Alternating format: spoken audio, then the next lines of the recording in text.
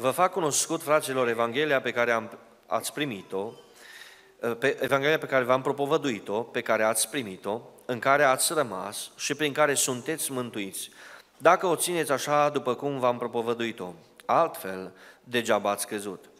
V-am învățat înainte de toate, așa cum am primit și eu, că Hristos a murit pentru păcatele noastre după Scripturii, că a fost îngropat și a înviat a treia zi după Scripturii. Amin. Haideți să ne reașezăm.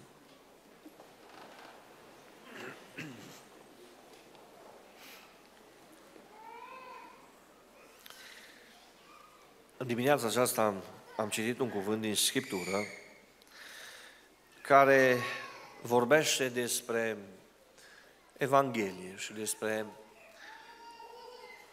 Scriptură sau Cuvântul lui Dumnezeu. Vremurile pe care noi le trăim sunt niște vremuri grele. Spune Scriptura prin Apostolul Pavel în Timotei că în vremurile din urmă vor fi vremuri grele și aduce acolo mai multe lucruri în ceea ce privește greutatea sau în ceea ce privește, dacă vreți, problemele vremurilor din urmă. Și dacă ar fi să uh, le rezumăm sau să vedem în primul și în primul rând ce anume evidențiază ele, din ceea ce spune Apostolul Pavel în vremurile din urmă, uh, centrul atenției în tot ceea ce înseamnă preocuparea și trăirea va fi luat uh, locul acesta va fi scos afară Dumnezeu din el și va fi pus altceva.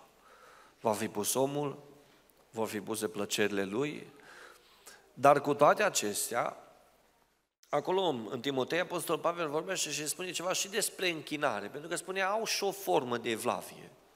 Deci rămâne și partea aceasta de închinare. Dar pentru ca uh, să se poată face și una și alta, este nevoie acolo de niște elemente care să se combine, de un sincretism. Se aduce și partea care ne convine nouă și ne trebuie nouă, dar auzi, să nu cumva să se supere și uh, partea cealaltă, partea spirituală. Și acum aici fiecare o numit-o cum i-a plăcut și cum i s-a părut lui că sună bine. Unii au spus că e natura, alții au spus că e Dumnezeu, alții au spus că e divinitatea și um, nu mai e știu ce uh, lucruri abstracte au fi avut în mintea lor. Dacă lucrurile ar fi rămas aici, n-ar fi fost atât de mare problema. Problema, frații mei și surori, este că lucrul acesta, încetul cu încetul, a ajuns să ne atingă, să ne afecteze și pe noi. Foarte des întâlnesc în vremea aceasta oameni care vin și aduc cu tare exemplu și cu tare exemplu și spune, vezi, Dumnezeu este și cu ei.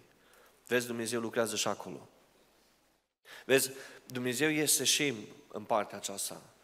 Și înțeleg că adesea nu este discernământ în ceea ce privește partea aceasta de a cântări lucrurile și de a lua sau de a ne uh, poziționa într-o anumită situație în așa fel încât pe urmă, analizând toată situația aceasta, să spun mulțumesc Domnului pentru că am avut parte de călăuzire, am fost călăuzit de Domnul și că am ales ceea ce trebuia să aleg.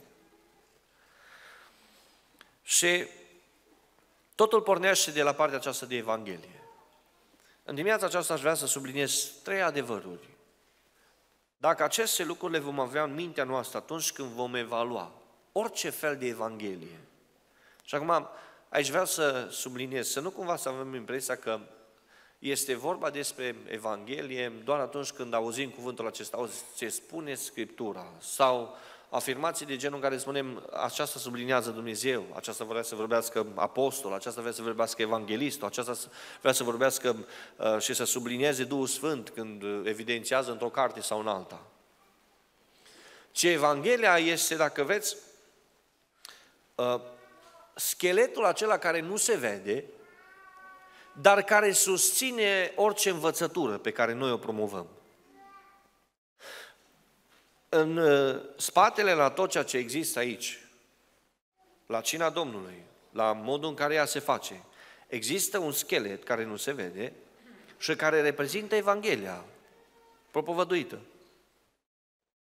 În spatele unei alegeri pe care o ai, există ceva care nu se vede. Folosesc termenul acesta pentru că niciunul dintre noi, la niciunul dintre noi nu îi se vede scheletul. Nu? Este acoperit de carne, de mușchi, de um, uh, piele și așa mai departe. Nu ni se vede, dar aceasta nu înseamnă că el nu există. Dacă scheletul acesta este strâmb, strâmb vei sta și tu. Dacă scheletul acesta este deformat într-o parte sau în alta, se va vedea în exterior. La fel este și în ceea ce privește Evanghelia. Primul lucru care îl subliniază Apostolul Pavel și care vreau să-l aduc înaintea dumneavoastră, ascultați ce frumos vorbește el. V-am învățat înainte de toate, așa cum am primit și eu. Evanghelia este capabilă să mântuiască doar dacă este o Evanghelie primită de la Dumnezeu, de la Hristos. Spune Apostolul Pavel așa de frumos și vreau să vă citesc lucrul acesta. În Galateni, vorbește Apostolul Pavel de um, începuturile sale și ascultați ce frumos spune el. Fraților, în capitolul 1, versetul 11, spune așa, Fraților, vă mărturisesc că Evanghelia propovăduită de mine nu este de obâlșie omenească, pentru că n-am primit-o, nici n-am învățat-o de la vreun om, ci prin descoperirea lui Isus Hristos. Ce spune aici Apostolul Pavel? Că el avea o cunoștință în ceea ce privește partea aceasta religioasă. Și într-o zi, după întâlnirea pe care a avut-o cu Domnul Isus Hristos, Dumnezeu sau Domnul Isus Hristos a venit să-i vorbească într-un mod personal, de modul în care toate lucrurile pe care el le-a știut, în tot ceea ce privește partea aceasta vechi testamentală, se așează, dacă veți, ca niște piese într-un puzzle, care vorbesc și toate duc în aceeași direcție, înspre Hristos. Și Apostolul Pavel vorbește și spune că, um, așa de frumos, zice, eu am fost undeva deoparte, Dumnezeu a venit și mi-a vorbit. Ascultați ce frumos spune el. Um, mă uit să vedem de la ce verset să citim în jos ca să înțelegem. Versetul 18, tot din același capitol, spune așa. După trei ani m-am suit la Ierusalim să fac cunoștință cu Chifa și am rămas la el 15 zile. Dar n-am văzut pe niciun altul dintre apostoli decât pe Iacov, fratele Domnului, în cele ce vă scriu, iată, înaintea lui Dumnezeu numind. După aceea m-am dus în ținuturile uh, Siriei și Ciliciei și, încă, și eram încă necunoscut la față bisericilor lui Hristos care sunt în Iudeea. Ele auzi, auzeau doar spunându-se, cel ce ne prigonea odinioară acum propovădește credința pe care căuta să o nimicească odinioară și sleveau pe Dumnezeu prin, uh, uh, din pricina mea. După 14 ani m-am, m-am suit din nou la Ierusalim împreună cu Barnaba și am luat cu mine și pe Tit. M-am suit în urma unei descoperiri și le-am arătat Evanghelia pe care o propovăduiesc eu între neamuri, îndeoseb celor mai cuvează, ca nu cumva să alerg sau să fie alergat în zadar. Ce spune Apostolul Pavel? Este că Domnul Iisus Hristos, într-un mod deosebit, s-a ocupat de el și i-a dat Evanghelia descoperirea aceasta despre care vorbește el, toate lucrurile pe care el le cunoștea într-o oarecare măsură. Hristos a venit și le-a așezat, așa cum am spus, într-un puzzle ca să formeze un tablou deosebit. Și tabloul acesta reprezenta pe Hristos și toată lucrarea pe care Dumnezeu o avea în vedere. De la începuturile uh, zidirii, dacă vreți, ale omenirii și până în partea de finalitate a ei. Aceasta este Evanghelia. Și întrebarea mea care mi-am pus, Doamne, dar cum să deosebesc eu că cel care vine și vorbește, cel care vine și promovează o anumită învățătură, are la bază sau are partea aceea de schelet care nu se vede, care este Evanghelia aceasta care vine de la tine. Pentru că în timpurile noastre, cu puțin timp în urmă, cei care sunteți mai în vârstă, cunoașteți lucrul acesta. Spuneți-mi, de câte ori ați auzit pe cineva propovăduind ceva, învățând ceva, promovând anumite lucruri. Să vină să vă spună și, vreau să spun ceva, acum ceea ce eu promovez vine direct din infern. Dar ascultă-mă și ia aminte la ceea ce spun. Nimeni nu vine să facă așa. Ci toți spun, auzi, dar e de la Domnul. De la Domnul și cu tare, de la Domnul și cu tare, de la Domnul facem și asta, din Scriptură și asta, din Scriptură și asta și așa mai departe. Și lucru care uh, te șochează pentru că în timp Câte învățături n-au fost în urmă cu 20 de ani? în urmă cu 25, în urmă cu 30 de ani, în urmă cu 50 de ani. Câte învățături au fost și câți oameni nu s-au ridicat și au spus de la Domnului. Și după ce ne uităm în urmă la o perioadă de 20 de ani, spuneți-mi fructele care au rezultat. Sunt de la Domnul? Știți cum se evaluează dacă Evanghelia aceasta este divină? Aminteam la timpul de rugăciune ceea ce spune în Ioan în capitolul 4 Domnul Iisus Hristos. Vine vremea, vine ceasul și așa veni când încheietorii adevărat să închinăm la Dumnezeu în duc și în adevăr.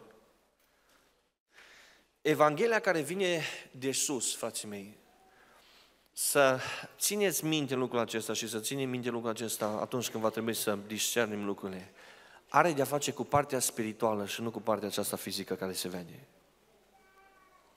Nu înseamnă că nu există lucruri pe care să nu le putem judeca sau care nu trebuie să se reflecte în partea fizică. Ba da, dar lucrurile trebuie și accentul trebuie să cadă pe ceea ce este în interior. Ascultați ce frumos vorbește tot Apostolul Pavel. În Coloseni, în capitolul 2, versetul 21, vine și spune în felul următor. Nu lua, nu gusta, nu atinge cu tare lucru. Adică vorbim despre lucruri acestea care țin doar de partea de exterior. Și spune Apostolul Pavel așa, toate aceste lucruri care pierd odată cu întrebuințarea lor, și sunt întemeiate pe porunci și învățături omenești, au un adevăr o înfățișare de înțelepciune, într-o închinare voită, o smerenie și asprime față de trup. Și ascultați ce spune. Dar nu sunt de niciun preț împotriva gădilării firii pământești. Dar firea pământească, dacă toate aceste lucruri doar, le, doar uh, o, o gâdilă, spuneți-mi, ea cum se stăpânește? Ea cum se controlează, ea cum se direcționează în direcția în care trebuie? Prin lucruri firești, care au de-a face cu trupul, sau prin lucruri care au de-a face cu partea aceea care nu se vede, cu partea spirituală?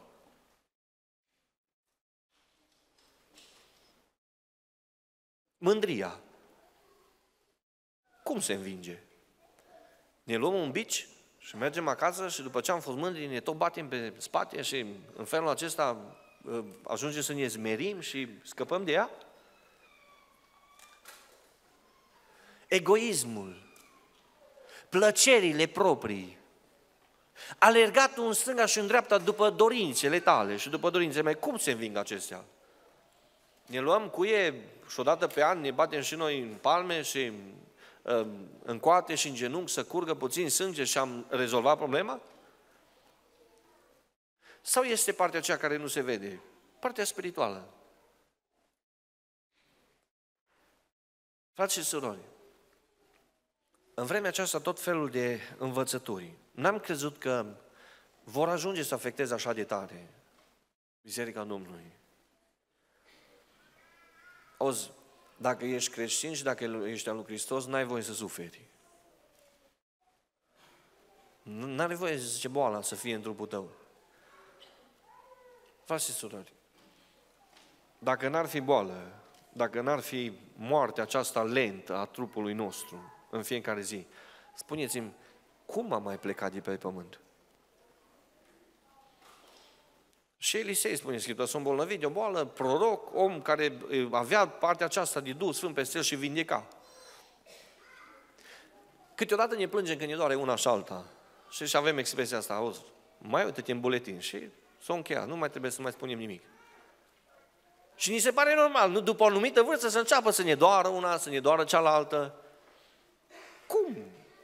Atunci vine partea aceasta de Evanghelie. Dacă tu ești copilul Domnului, n-ai voie să fii sărac, n-ai voie să fii în probleme, n-ai voie să fii în greutăți, n-ai voie să fii, uh, nu știu, sub o anumită povară și să-ți fie greu, că ești copilul Domnului.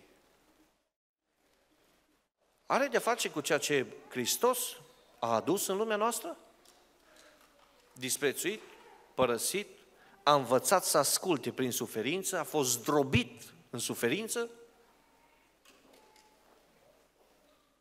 Dacă el a fost așa și a trecut așa, ce spuneți pentru noi? Altceva? Dacă Evanghelia care se vestește nu are de-a face cu partea spirituală, ci doar cu exteriorul, să ai, să fii, noi poruncim și lucrurile să fac că noi suntem copii de Dumnezeu, asta înseamnă că într-o zi noi vom fi Dumnezei și vom stăpâni și începem să ne purtăm ca atare. Și învățătura aceasta, să știți, este între noi și plin de bine. Al doilea lucru. Ascultați ce frumos vorbește Apostolul Pavel.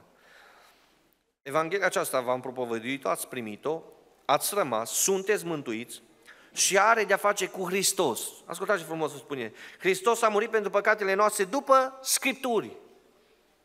Dacă Evanghelia care se vestește are de-a face cu El, are de-a face cu înțelepciunea Lui, are de-a face cu planurile, are de-a face cu strategia Lui, indiferent cum s-ar numi persoana respectivă sau denominațiunea respectivă sau, nu știu, o asociație, societate, puneți dumneavoastră ce veți acolo.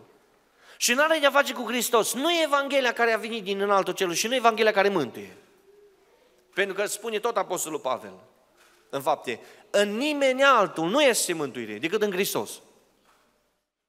În nimeni altul. Nu este iertare, nu este liberare, nu este ridicare, nu este partea aceasta de împlinire, nu este bucurie, nu este fericire decât în Hristos.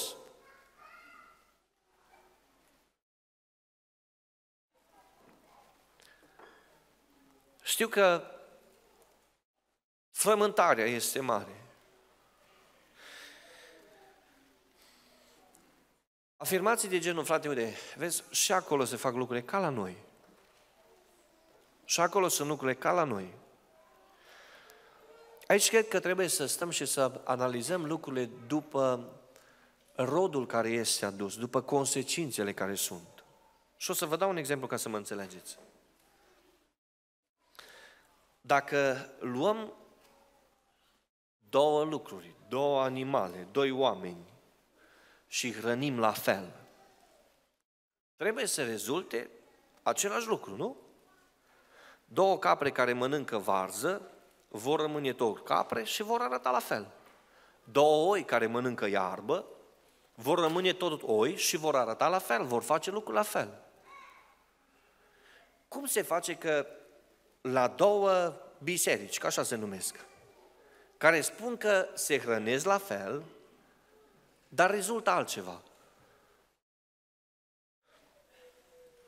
Vorbeam cu cineva și spuneam, azi, dacă e la fel ca la noi, spunem, pun accent pe cuvântul lui Dumnezeu, cum trebuie pus și cum se pune, sau pun accent pe, auzi, astăzi ne-am întâlnit, dar numai la o pauză de cafea, că trebuie să mai și discutăm. Am făcut părtășie și la noi acasă și da, noi am uh, serbat onomastica și am chemat frață și surorile, dar așa numai ca să stăm să povestim, să bărfim, zic cu alte cuvinte, nu? Că acolo s-au dus lucrurile.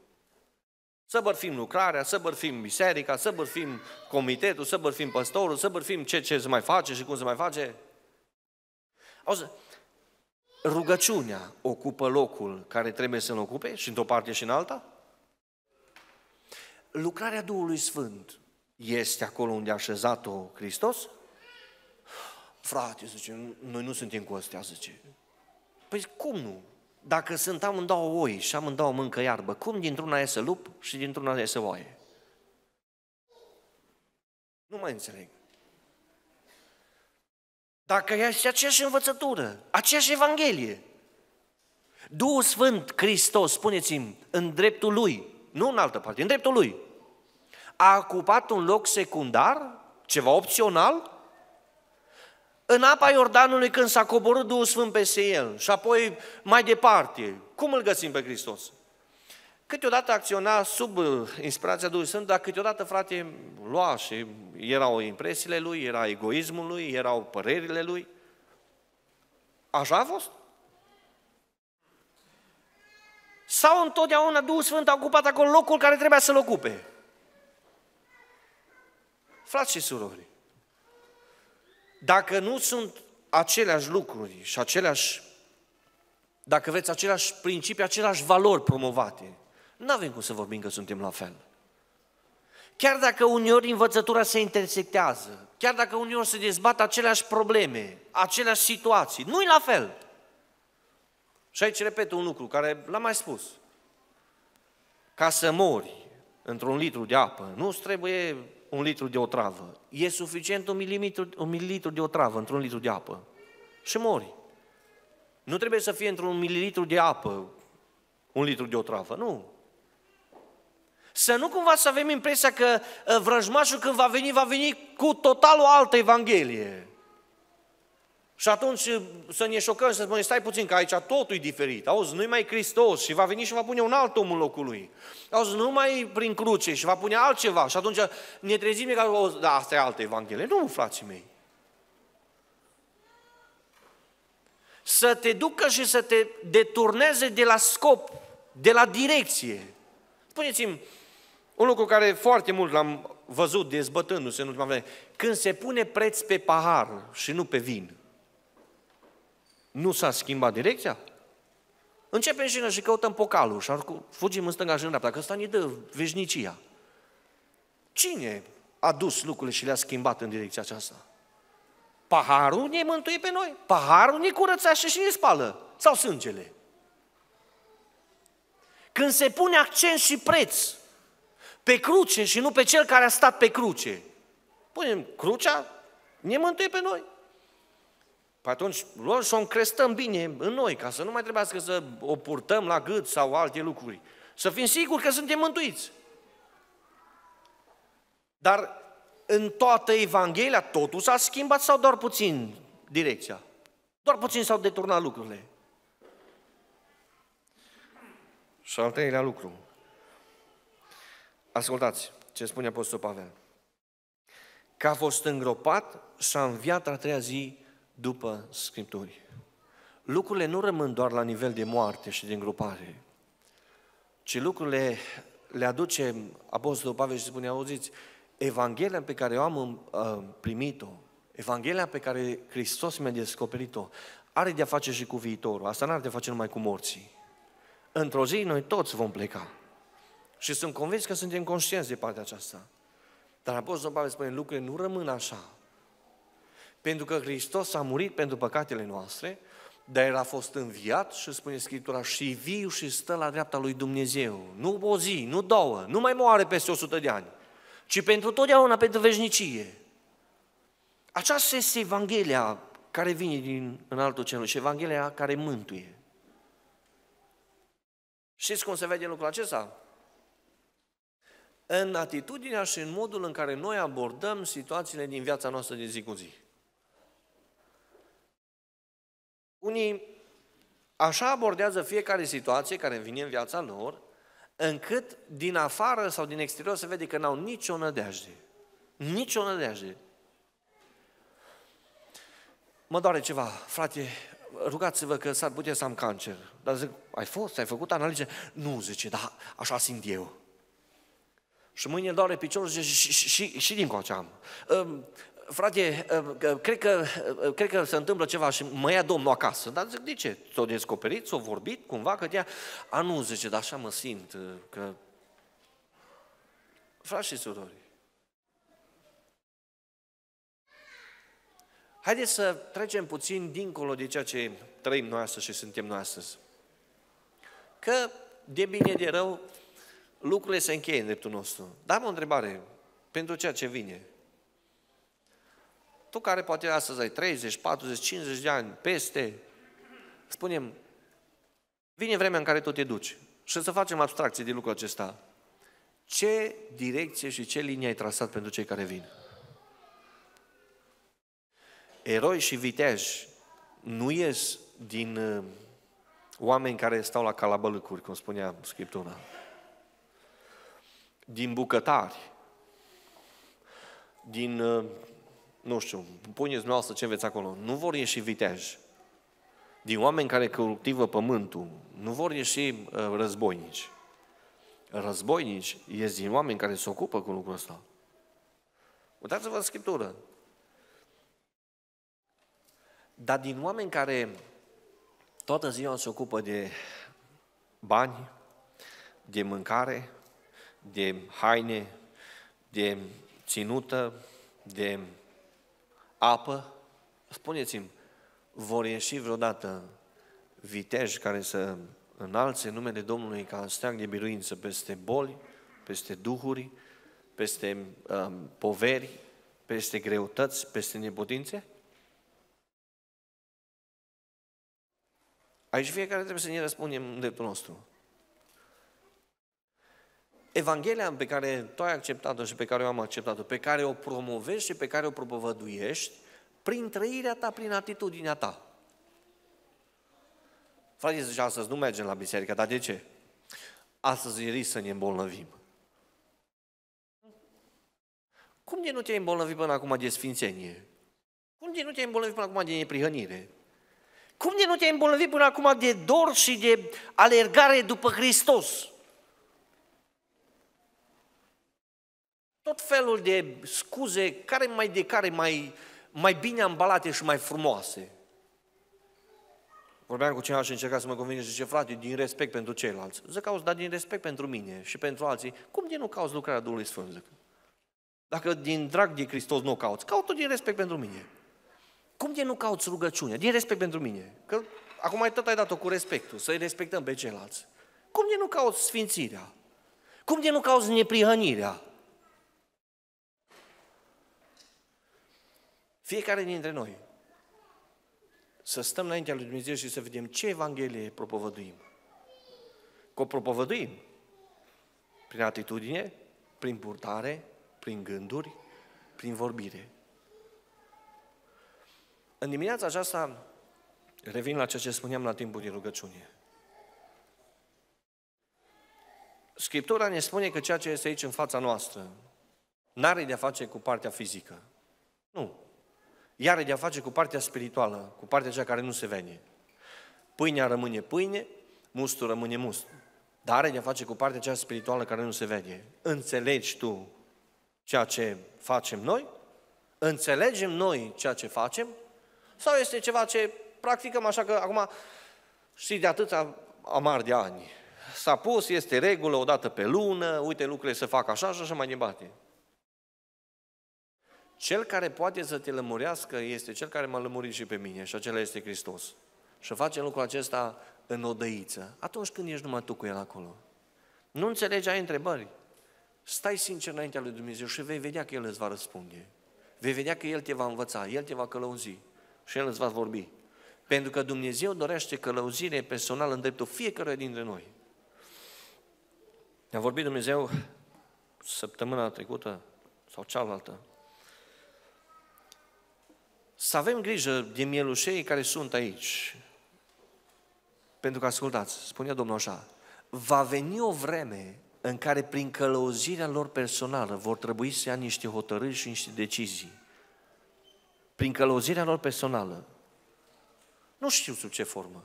Că vor fi la școală și noi ca părinți nu vom putea să îi influențăm sau să îi ajutăm. Nu vom putea să stăm de vorbă cu ei că vor fi în anumite situații în care noi ca părinți nu vom mai avea acces.